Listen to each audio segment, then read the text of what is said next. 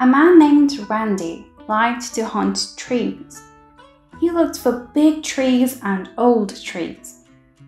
He made maps to show where these trees were. He did not want to cut them down. He wanted people to take care of them. Randy was told of a very tall tree on Vancouver Island. The tree was said to be 314 feet tall. That would make it the tallest tree in Canada. Randy set out to find the tree, but someone else found it first. It was found by a logger. Loggers wanted to cut down Canada's tallest tree and all the trees around it. The tree was so big and beautiful, it would fill them with awe. More and more people wanted to save that forest. Thanks to these people, the forest is now a park. Canada's tallest tree is still there. There may still be a bigger tree out there. Maybe you will find it. But there are only a few old forests live in Canada. Many are still at risk of being cut down. Questions Why did Randy make maps?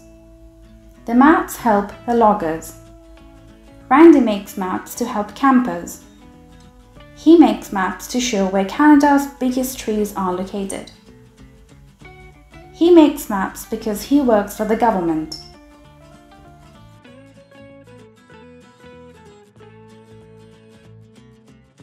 The answer is C.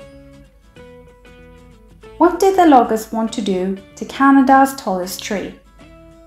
They wanted to cut it down. They wanted to save the tree. They wanted to take pictures of the tree. Or they wanted to measure the tree to find out how tall it was.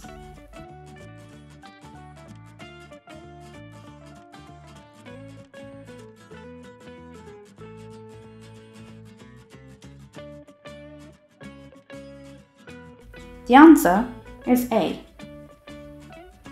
Why did Randy make a path to the tallest tree in Canada? He needed the path to get home. He wanted more people to see it. He made a path so he could visit the tree more easily. He made a path to help the loggers get to the tree.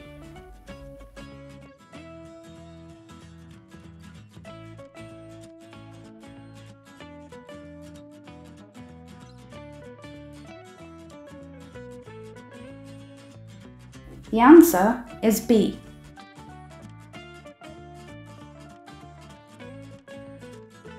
What does it mean to be filled with awe? Does it mean to be not interested? Or does it mean to be curious? Does it mean to be amazed? Or does it mean to want money?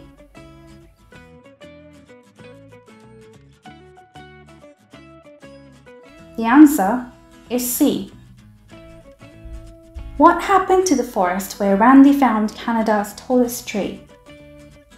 The loggers might cut it down in the future. No one knows. It's a mystery. The loggers cut it down. It became a park.